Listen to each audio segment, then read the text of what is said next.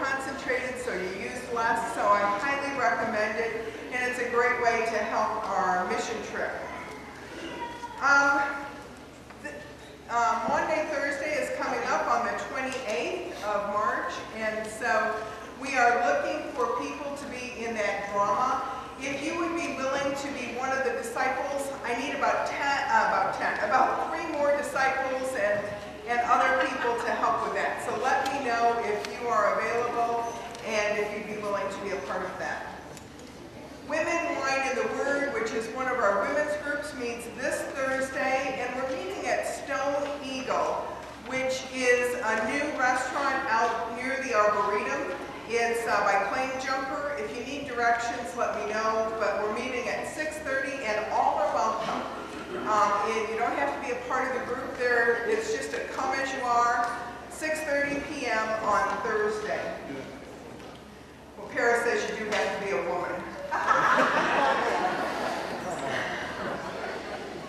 um, inside your weekly window on the white sheet, um, there is an opportunity for you to sign up to buy Easter lilies that will adorn our um, worship space for Easter. We need you to sign up to do that. Right now we have eight Easter lilies. It's not going to look very beautiful in here unless we get a few more. So sign up uh, to donate a lily. And then um, today, I am going to be using the passages of Scripture and talking about them during the sermon. So I highly recommend that you take time to find them. The page numbers are there. Find them, stick a page or rip off a corner from your insert and stick it in there so that uh, you can find those. Good morning. Oh, you can do better than that. Good morning. Hi, Oh, that's much better. That's the first congregation church response.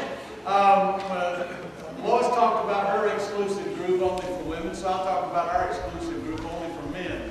Guys, one week from tomorrow night is Beer Burgers in the Bible. 6.30, we meet down here at the Elgin Public House. Uh, order something to eat if you'd like at the bar and bring it upstairs for an hour of Bible study for dudes only. So uh, it's always a great time. This we have a magnificent concert waiting for you at 3 o'clock right here in our sanctuary. The Gargoyle Brass will be performing. If you have heard them before, you know how good they are. If you have not, let me tell you, they really are magnificent. 3 o'clock right here. This is the type of music that some people pay big bucks and drive all the way into downtown Chicago to hear. It's going to be right here in our sanctuary this coming, uh, this afternoon at 3 o'clock. And then, as if that was not enough, then Friday night, John Linker will be with us uh, playing the pipe organ. He's been with us before. Magnificent musician. That's 7 o'clock in the evening, Friday, this coming Friday, so we know that you'll want to uh, uh, come out for that. Now, now we've talked about the sublime music, let's talk about the ridiculous music. Our annual folk music worship service is coming up on the 14th of April. You'll notice in your uh, weekly window on the sign-up sheet, if you would like, if you would be willing to be a part of a vocal ensemble, that's what we usually do on that day. We usually fill up the front here with people uh, who, uh, who uh, either can sing or would like to sing, and we'll do some old hymn or something like that. And it's always a marvelous time of, of singing. We'll have a couple rehearsals ahead of time. If you would be willing to be a part of that, check that off on your weekly window thing. Also, if you play an instrument would like to perform that day, maybe you would like to play Jesus Loves Me on the bass drum or something along those lines, uh, sign up because we want as many people as possible. That's what folk music is all about. It means that all the folk can be a part of it. So uh, please uh, take advantage of that and let's fill the place up that day. Lois mentioned Maundy Thursday services. Uh, this coming Sunday, week from today, is Palm Sunday, and then Maundy, Thursday service at 7 o'clock. Friday, our choir and uh, instrumentalists will be presenting the Requiem by Brad Ellingboe. It should be a magnificent concert, so we hope that you'll come out for that at noon on Good Friday. And then, of course, Easter Sunday, we'll be celebrating the resurrection uh, in a marvelous, marvelous way. So we hope that you'll do that. If you would find the uh, welcome book that looks like this, please, and open it up and fill out the information that's called for, and then pass it on to your neighbor, we would appreciate that very much. Uh, other announcements, is that why you're coming forward? Since you started with that, I didn't want you to skip over that part. Good morning, everybody. How many people went to the 175th anniversary party that the church threw? Did you have a good time? Okay, good. Well, you need to mark your calendars for May 4th. It's a Friday evening, and we're going to have some more fun. The Moms Group is sponsoring a church raising party to help support all the various missions of our church and different things. We're going to have a dinner at the VFW Hall on Weld Road, and then have um, music provided by Beth Mitchell, just like we did at the 175th anniversary party. So mark your calendars. We hope you can join us. It will be uh, limited ticket sales, so, you know, it's first come, first serve, and we're hoping as many people here. Invite your friends and neighbors, and details will be coming shortly. Thank you, that's going to be a lot of fun. Other announcements this morning? Anybody? Uh, be sure and uh, uh, notice the envelope for the one great hour sharing offering today. Uh, that's the offering that goes to the United Church of Christ to uh, help out when there is a disaster. That's the money that allows the United Church of Christ to be on the scene, uh, first people there, one of the first groups there, to help out whenever there's an actual disaster. So we hope you be generous. Use that envelope, uh, make the check out to the church and put on the memo line that it's one great hour of sharing. And that's over and above your offering for today. Let's uh, find somebody that you haven't spoken to yet and tell them, hey,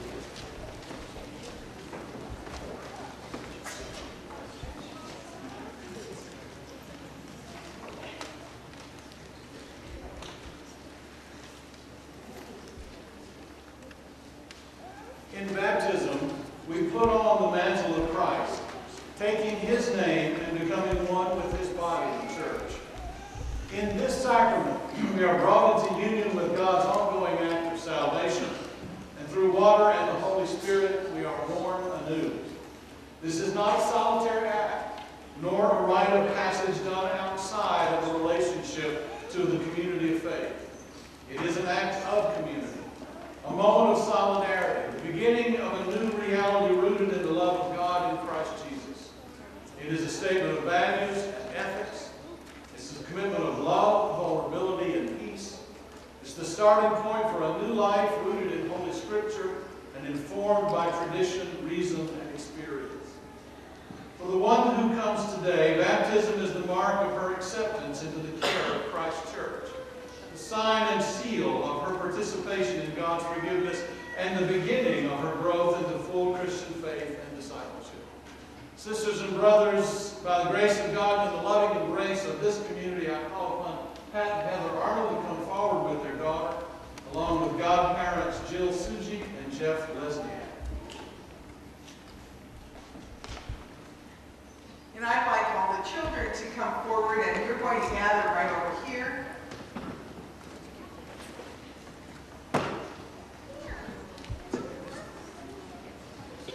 Have a seat right here. Come on, Keegan, over here. Lift her.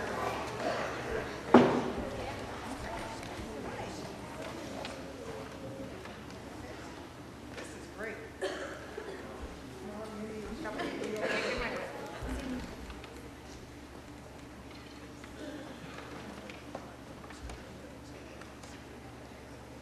Augie? Augie? Do you want to come be by mommy? Do you want it by you? You can be here, so we can see. No? Okay.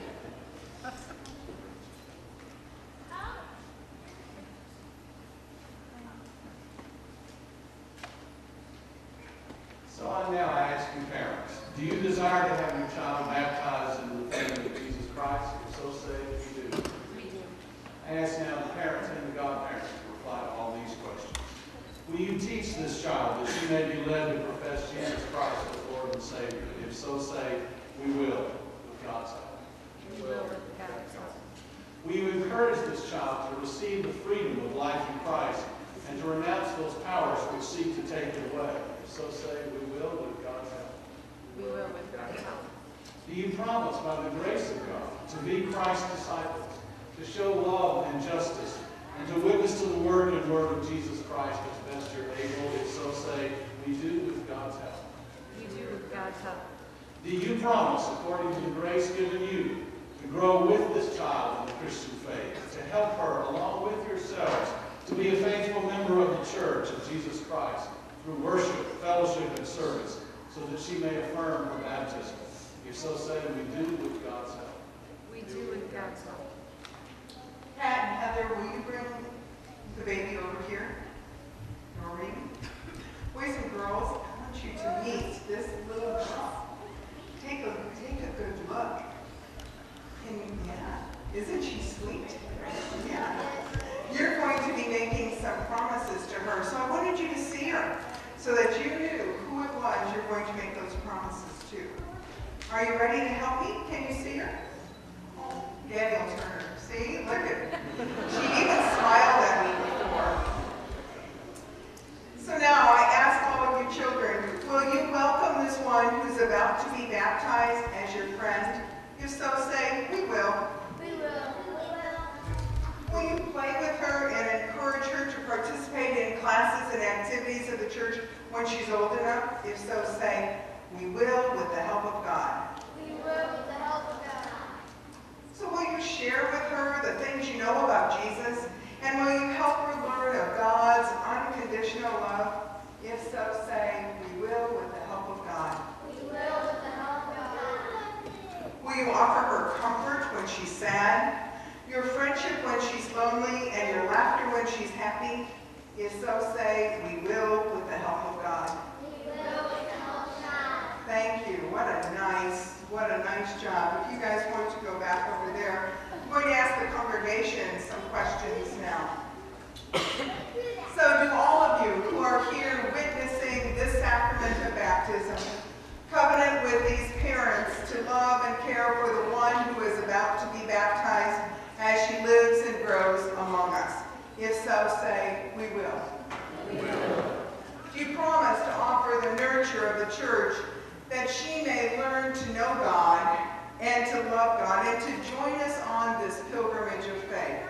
If so, say, we do with God's help. We do with God's help. Let us pray. And all of you bow your heads too. Loving God, with joy and wonder, we bring to you this little one, confident that you will welcome her as your own true child through the mystery of water and the word. As you enfold her in your arms of love and grace, you make her our sister in Christ.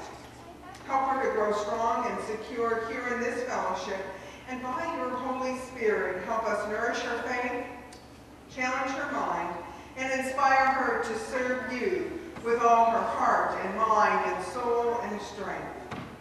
In the name of the Father, and the Son, and the Holy Spirit. Amen. And now I invite the godparents to take the water of baptism here, that's in this pitcher, and pour it into the font. And you can do it as dramatically as you want. You're going to watch. Watch him pour. You can keep going. Keep going. Ah, yeah. Beautiful. Thank you. I'll take that. And Liam, yeah, you can look at the water in just a minute, but we need you to back up for just a moment. Good. Thank you. By what name will your child be called? Noreen Mary.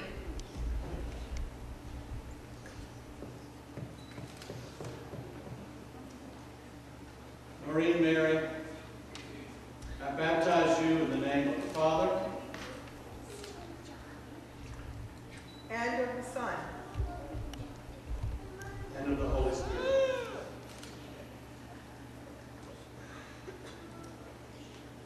Noreen Mary,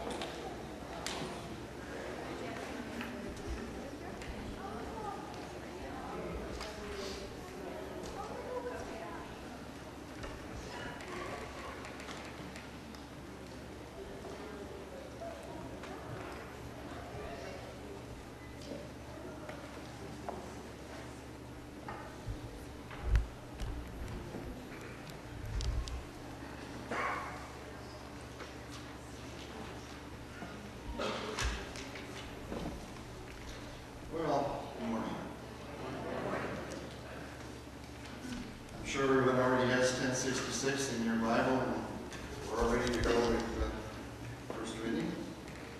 This is a reading from the epistles. It's from Paul's letter to the Ephesians. We can all struggle through verse 13 together.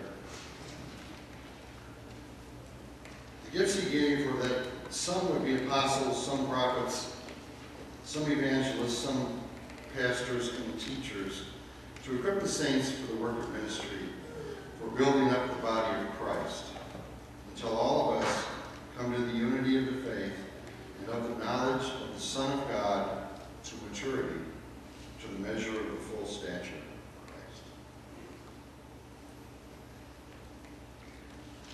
Then a reading from the Gospel of Matthew, verses, chapter 28, verses 16 through 20. It's the final words of Matthew. Now the eleven disciples went to Galilee, to the mountain to which Jesus had directed them. When they saw him, they worshipped him, but some doubted. And Jesus came and said to them, All authority in heaven and on earth has been given to me. Go therefore and make disciples of all nations, baptizing them in the name of the Father, and of the Son, and of the Holy Spirit, and teaching them to obey everything that I have commanded you. And remember, I am with you always, even to the end of the age. Finally, a reading from the Gospel of Luke. This is Luke 9, verses 23 through 27. Then he said to them all, If anyone to become my followers, let them deny themselves and take up their cross daily and follow me. For those who want to save their life will lose it, and those who lose their life for my sake will save it.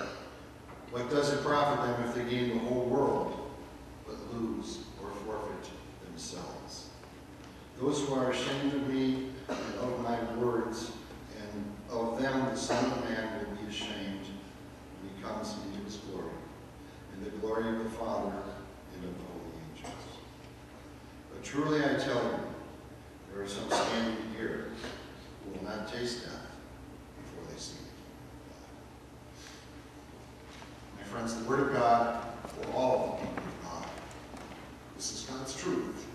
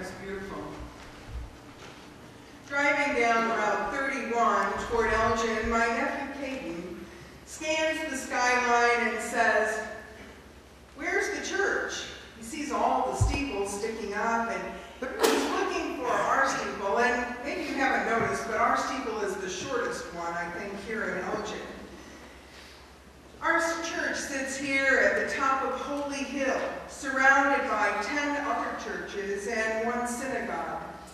As the oldest church in Elgin, we've met, weathered many storms, and we've survived many changes and challenges that have faced the church. You might not know it, but there was a time when every pew and every seat in the balcony was filled on Sunday morning. Those were the days when the center of community life was the church. Not only in Elgin, but all across America. In those days, anybody who was anybody belonged to the church because that's what you did. In those days, no one, or almost no one, did anything else on Sunday morning other than worship. Stores were closed, gas stations were closed, libraries, theaters, even most restaurants were closed at least until church was over. I know many of you remember those days. During this time period, mainline Protestant congregations tended to be guaranteed a market share. In fact, religion in America at that time consisted of Protestant, Catholic, and Jew. But today, there are as many options on the menu of spirituality as there are channels on TV. A man who was being admitted to the hospital was asked, so what's your church preference? He thought for a moment, thought for another moment, and he said, hmm, I guess I'd have to say red brick. For many, the church is only a building that sits at the top of Holy Hill. Being a part of a congregation doesn't even occur to them. So is the church dead? Will the church survive and thrive in the 21st century? In his book, The Mustard Seed Conspiracy, Tom Sine shares the story of his parents' friends and their love for gathering wild mushrooms. One weekend, this couple came home with several heavy baskets of mushrooms. Realizing the impossibility of being able to consume them all before they spoiled, they decided to invite others over to their house for a mushroom party. The turnout was terrific. And they had a wonderful time eating mushroom crepes and omelets and souffles. They ate until they could not eat one more bite. And then they scraped the leftover mushrooms into the cat's dish. Around midnight, as the guests were getting ready to leave, someone went into the kitchen and noticed the cat sprawled out on the floor in what looked like convulsions. Next to the cat was the overturned dish of mushrooms. Guests screamed, look at the cat! Everyone ran into the kitchen to see what was causing all the commotion, and after seeing the cat, they decided they better call the doctor, fearing that they might meet the same doom. The doctor informed them that they should not take any chances and should immediately drive to the hospital to get their stomachs pumped. About 1.30 in the morning, they dragged back into the host's house to get their belongings. They were sick and exhausted. As they sarcastically thanked the hostess and made their way to the front door, someone said, so did the cat die? So they tiptoed into the kitchen, cautiously opened the door, and found the cat asleep on the floor with eight kittens.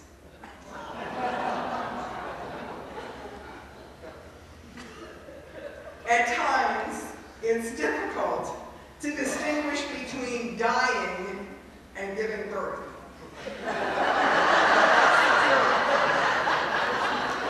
You'd think it would be easy to tell the difference. However, experience shows us that the distance between death and birth is really not very far. The unavoidable truth is that death must precede birth. Experiencing something new, even when it's positive, can be as painful as dying. Just listen to newborns scream as they make that miraculous move from the womb into this foreign world. We know that a bad habit must die to provide room for a good one, and certain ways of thinking must change in order to get a desired action. Authors Piazza and Trimble say, we always experience pain and loss. As we transition through changes, the common change in Christianity is not its death, rather it's its resurrection. Well, there's no doubt that the church of the 1900s is dying. It was a civic church, one that was often for appearances rather than commitment. Holding membership in a church gave you certain privileges. You expected something in return. It was like having a membership at a gym where you paid your fees and in return you expected to get rights of membership in return. The membership model for the church has often been viewed in the same way. Holding membership in a church gave you certain privileges. You paid your pastor to do the work of the church. And it was his or her responsibility to hatch, match, and dispatch his congregation, as well as to be the face of the church in the community. As Pastor Tony Robinson interviewed for his first church after seminary, the search committee shared their vision. Ah, we want a pastor who will participate fully in the community. They hoped their pastor would be involved in the senior center and serve on the city planning commission and would generally embody wholesome Christian witness up and down Main Street.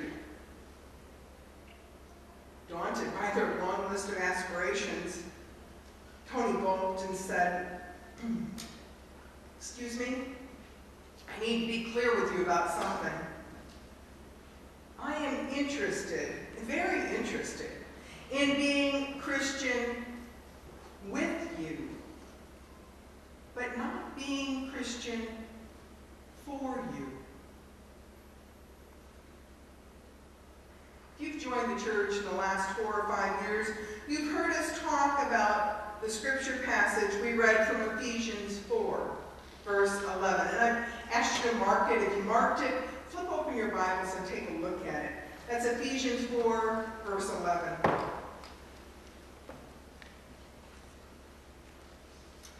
Ephesians 4, verse 11. You'll note here that Paul is talking about living as the body of Christ. Paul said, the gifts Christ gave were that some would be apostles, some prophets, some evangelists, some pastors and teachers, to equip the saints for the work of ministry for building up the body of Christ.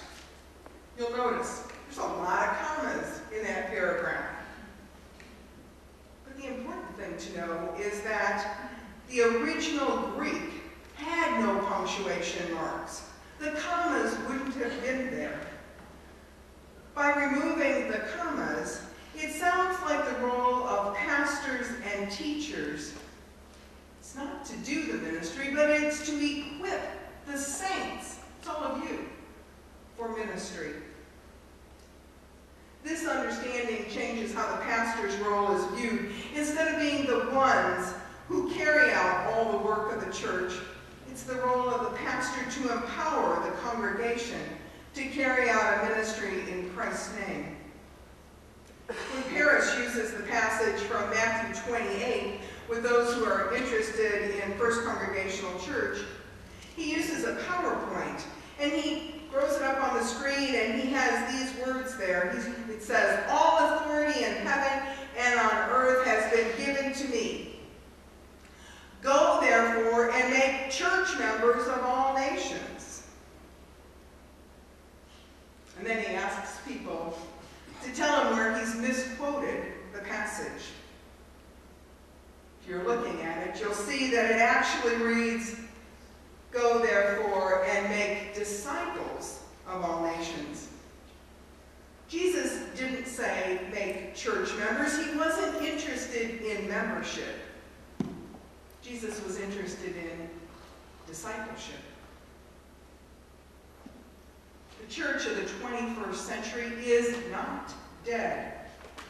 It is being resurrected by the grace of God. We, will, we believe it will be an even stronger church because the church of today and the future will be a discipleship church rather than a membership church. You may have noticed that we quit calling our classes that welcome people to our church membership classes. And instead we call them FCC 101. It's our way of reframing our view of the church. It's not about becoming a member. It's about joining us on this journey of discipleship. It's a challenge to take seriously Jesus' invitation to follow him. In the gospel lesson from Luke 9, Jesus says, If any want to become my followers, let them deny themselves and take up their cross daily and follow me. What are the crosses to be borne? So often people have talked about those crosses they bear as being things like an unhappy childhood or a physical ailment. When Luke quotes Jesus, he says, take up your cross daily. That moves the emphasis from martyrdom to sacrificial living. A way of life that could be cross, called cross-bearing would involve denial of self in the service of God. When Jesus called the disciples to follow, it wasn't an invitation to be a follower on days that it was convenient or when there was nothing better to do. Diana Butler Bass, author of Christianity After Religion, writes that over the century, theologians have argued that the Christian church began with Peter's confession to Jesus. You remember? Peter saying, You are the Messiah. And you remember that after that, Jesus called Peter the rock and said that upon that rock I will build my church.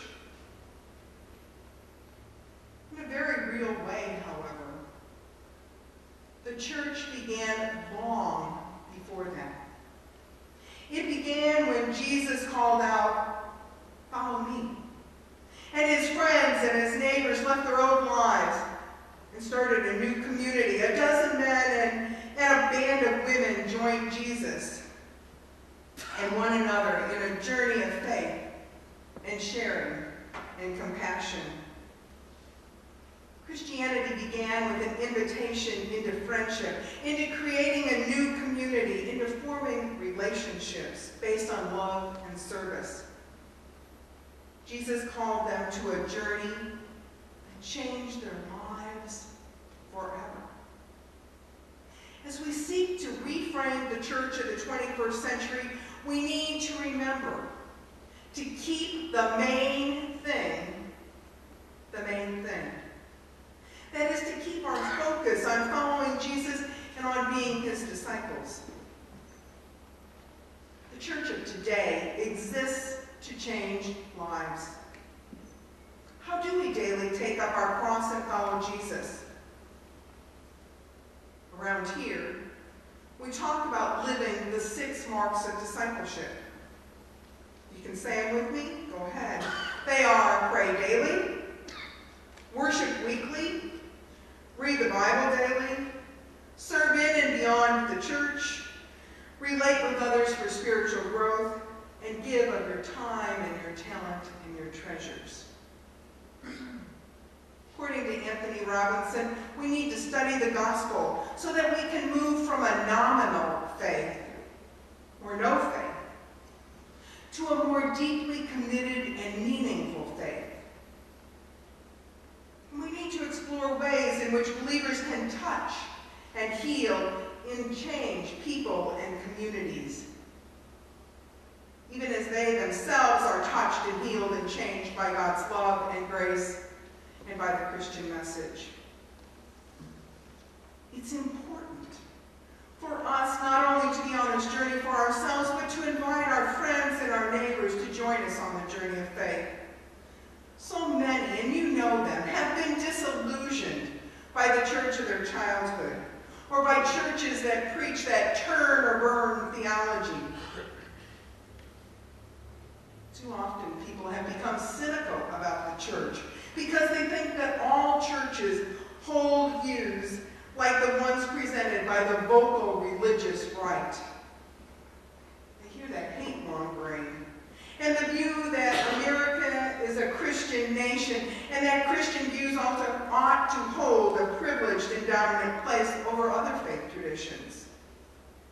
They hear that the Ten Commandments belong in courthouses without regard to those who believe other holy writings. They hear the Bible used to bash gays, to stand against marriage equality, and they hear that some even favor bombing abortion clinics or protesting at the funerals of fallen soldiers. I don't know about you, but frankly, I am sick. I am sick and tired of people saying stupid things in the name of Christianity. This narrow thinking presents a Jesus who is judgmental and whose love is limited.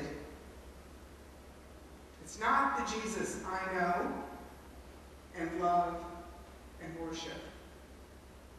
For the church of the 21st century to be vibrant, people have to hear the real message of Jesus.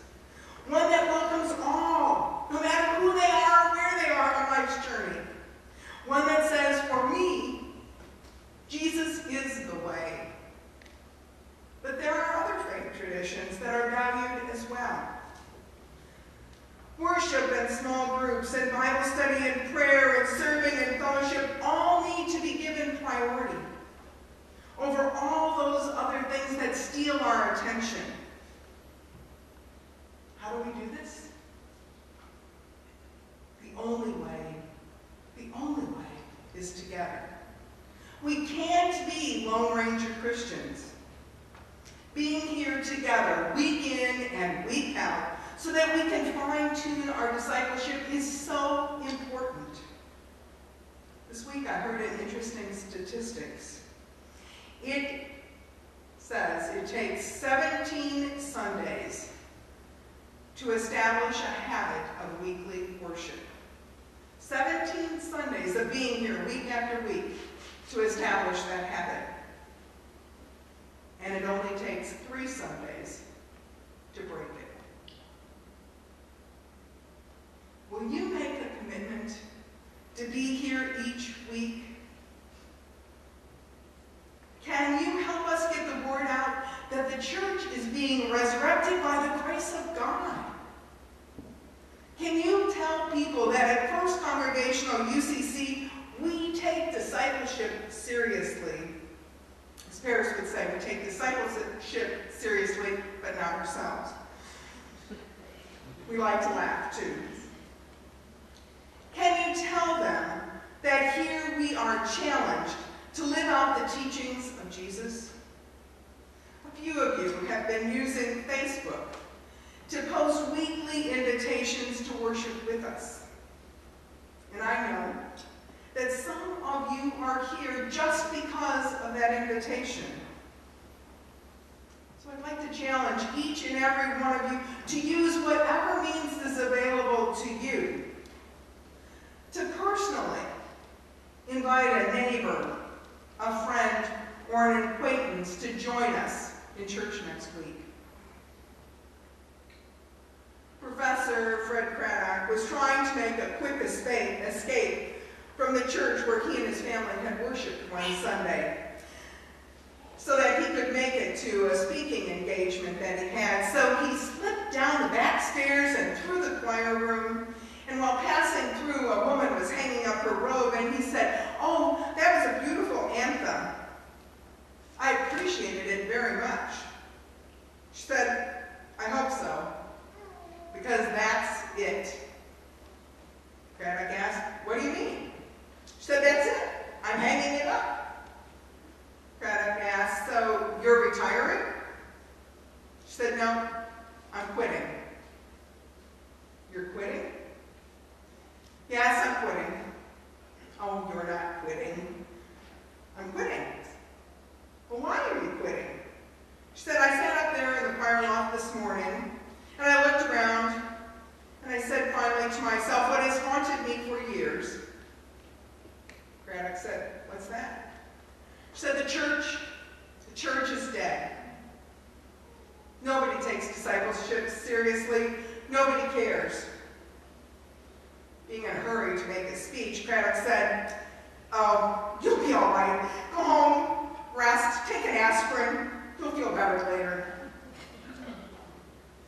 He went on his way to his engagement, but all the way there and all the way back, all he could think was about what that woman had said.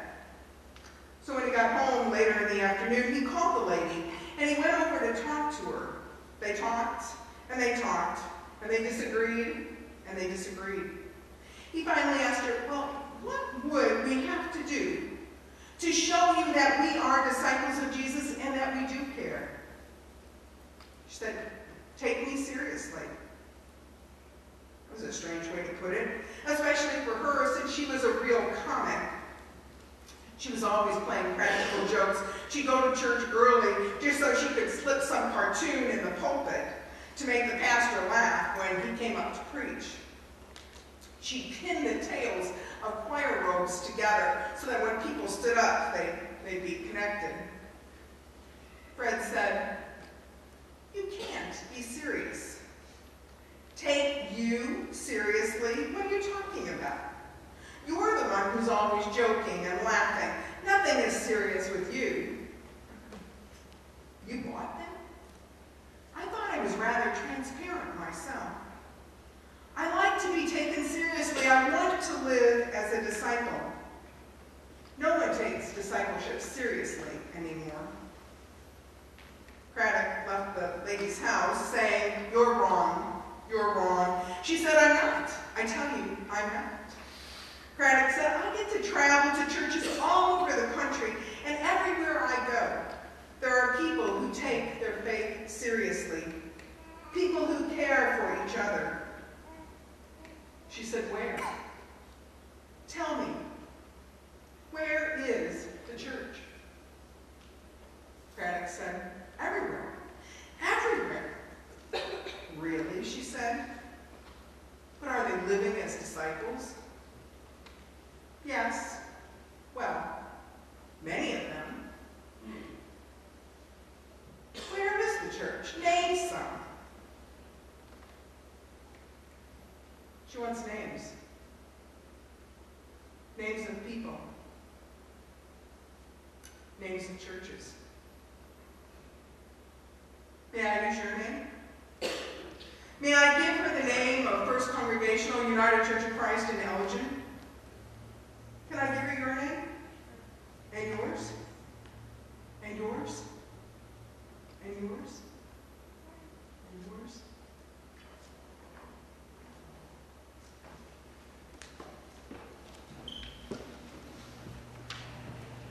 I invite you to ponder the words of that sermon and to make any notes that you would like.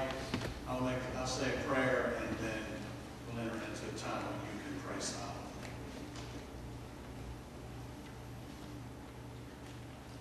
Oh God, she wants names.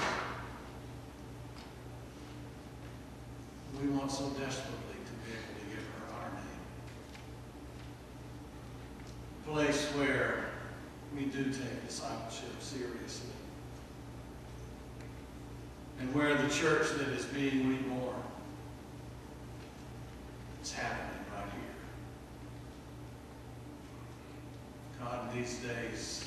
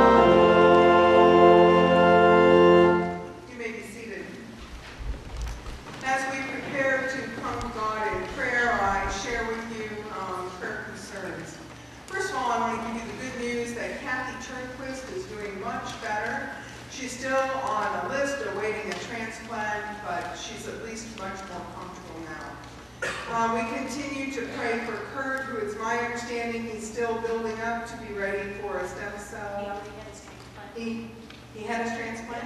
Okay. I'm thriving there. Yay, that's good news. Um, we are continue to pray for Lee Ellsworth, who is recuperating after, um, her knee surgery, and so we pray that that, um, recuperation continues to go well. We've been praying for Frank Kottmeyer's stepfather, who had a stroke, and, uh, continues at St. Anthony's Hospital. And so our prayers have been with you, Frank, and with your family. Uh, we are praying today for Troy Moore's friend Scott, who was just diagnosed with cancer. And um, Colleen Stockaker has asked for prayers for her family as they grieve the death of her Uh, many of you might have noticed that Sandy Dalton was not here at the door to greet you as you came today. I want you to know Sandy has not been feeling well. And uh, she's been to the doctor many times trying to figure out what it is that's going on. There's fatigue and muscle ache and a, a rash, and so they um, hope to maybe have some answers tomorrow. So we pray for her, and we pray that she will um, feel better soon. Um, you may have remembered we prayed for a baby named Aiden Anderhalter, and he's seven months old. Had lots and lots of issues from birth.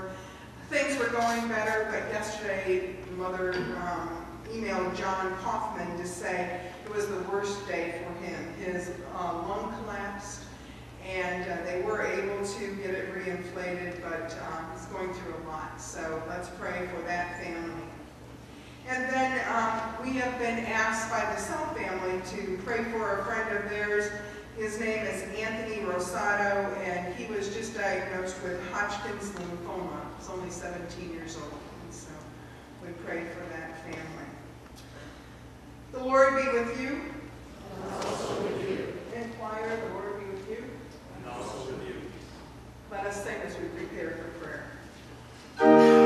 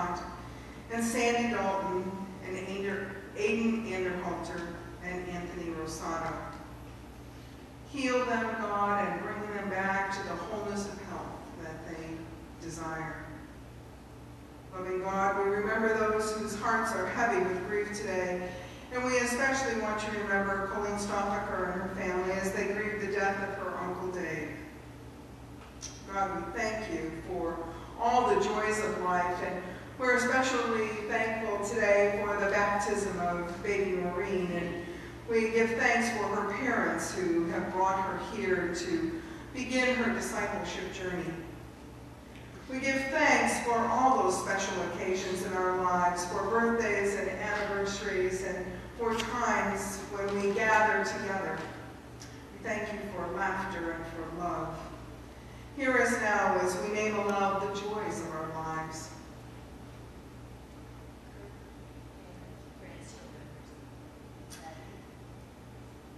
O God of grace,